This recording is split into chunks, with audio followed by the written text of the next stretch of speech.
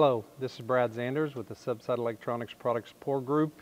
And over the next few minutes, I want to walk you through two different features we have on a TKQ tracker. First of all is the bore path analyzer, and then also how to follow up uh, a scan with checking the noise floor, checking the job site for noise. Um, these two bits of information that you can learn uh, will help you tremendously on a job site to help you be aware of any interference or what frequencies might work best opposed to another once you start the job. So first of all, if you go into the menu, scroll down to System, selected, scroll down to Analyzer, select that. This is how you get into actually running a scan. Now for time purposes, uh, I've already got a scan that I've run. So what I want you to look at here is there's been seven points that I've taken. Now, a common question I get is how many times do I have to run a scan along the bore path? Um, and the answer is as often or you know as little as you want. Typically, uh, people are going to run a scan anywhere they have areas of suspect. If there's a utility you're going to be crossing, you might want to take a scan there, or you could take one in an entry and an exit point. Um, so as often as you want or, or feel necessary, you can run a scan. But essentially what the bore path analyzer is doing is if you notice on the screen, it's scanning the top three frequencies in, a, in this quad tracker. So 29, 20, and 12, it's going to run a scan for.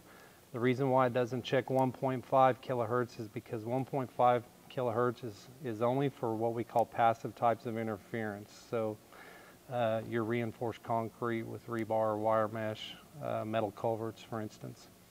So what you're looking at here on a scan is, if you picture the top line here as being ground level, you're looking for the icons or the frequencies that are lower or deeper. Because the, the icons, when you run a scan that are closer to this um, ground level, they're going to be less likely for you to want to use that frequency in that point of the bore. So as you're moving down the bore path, taking a scan, you're looking for the frequencies that are running lower or deeper. Now for any instance or any reason you saw one of these frequencies jump higher, um, that could be an indication at that point in the bore path that you wouldn't want to be in that frequency.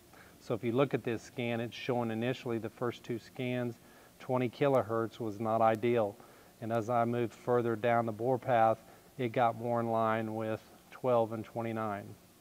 So that's basically how you read this scan. Um, it's actually set up, if I wanted to, I could go ahead and hit the select key and start another scan. It would take 0.8. Let's back up here and I'll show you how, well if I get to this screen, once, once the scan is finished, the analyzer results come up if I hit the menu button. At this point, actually, I could have, if I went ahead and powered up my beacon, put it in the housing, I could actually hit the set modes button and it would configure that beacon to these two frequencies that were the results of the analyzer, which were 29 as my up mode and 12K as my down mode. Now, one of the other things you may see from time to time, if my top three frequencies are all pretty close in line, it's going to pick the most ideal so it could say 29 here, but then it's going to put up the lowest frequency available because it's going to assume you have some type of or form of passive interference on the job. So you may see 1.5 kilohertz show up in these results, even though it's not actually scanning for 1.5.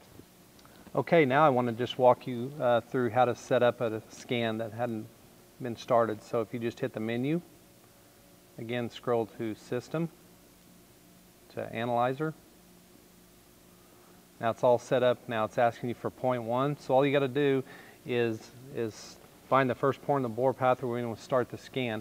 And I will tell you that you do not have to have uh, the tracker calibrated to the beacon to run a bore path scan. So this is an ideal case where you could, uh, if you were going out to bid a job, for instance, you could take a tracker with you and walk the bore path uh, running a bore path scan just to check to see if you're going to have any kinds of interference or what frequency might work better than another. So all I have to do now is hit the select key. What you're going to notice is it's, it's starting scan one. The numbers over here to the right, they are uh, doing their scan or evaluating the frequency in the area, but you don't have to put a lot of weight in those. Just let the tracker run its scan. It'll take several seconds here before it goes through all three frequencies uh, before you'll be ready for a second scan. What you're going to be most concerned with is the bar graph or the graph that'll come up after however many scans you decide to run. So again, it's scanned 29K, 20, and 12. It will not scan for 1.5. So when it's finished, it'll tell you, hey, I'm ready for point number two or scan number two.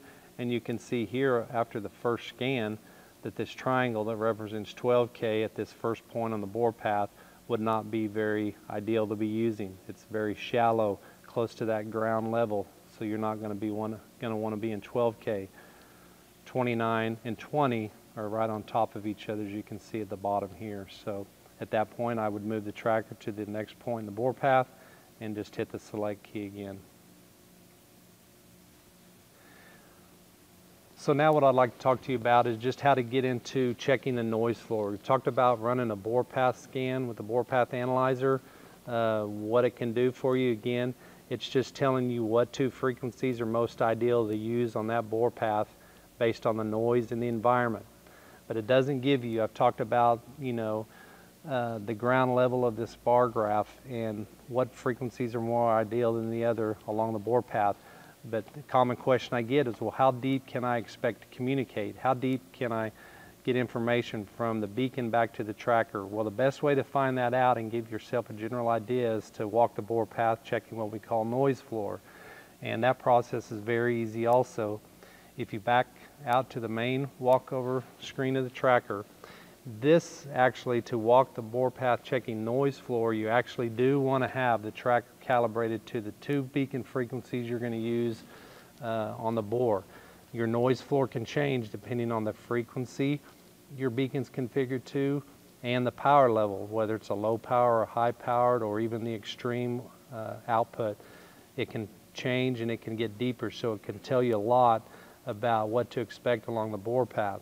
So if you're fixing to walk the bore path check checking noise floor, turn the tracker on. Remember it's been calibrated at this point to the beacon, but you do not want the beacon on. So you want to make sure you either put the beacon uh, asleep, park it at 5 o'clock, let it fall asleep in 5 minutes, or take the cap off of the beacon. So no beacon power is on. You can see I have no sync bars, no beacon battery status. Notice I have a question mark here, so that's telling me I don't have a beacon on. No pitch, no roll. Um, at this point, you're going to walk the bore path, and all you do is, again, just like on a bore path scan, however often you want to check the noise floor or in key areas along the bore path uh, is where you're going to check it. And all you have to do is push and hold the select key until a depth pops up on the screen. Notice it popped up 187 feet 5 inches. Now typically you're going to see out on a live bore, you're probably going to see that depth be a lot shallower Usually it's 70 or 80 or 90 feet. I'm inside of a building right now, so I'm getting some numbers that aren't very realistic. But what's important to remember about whatever depth is when you push and hold, say for instance that depth came up and showed 15 feet. If you're going to be drilling deeper than 15 feet at that point in the bore path, wherever you took this noise floor reading, there's a chance you could have some interference issues. Uh, difficulty pinpointing the beacon, and so on. So that's why following up a bore path scan with checking noise floor readings uh, is very beneficial. So you actually can put um, some depth capabilities with that bore path scan. You know what to expect at certain points in the bore path.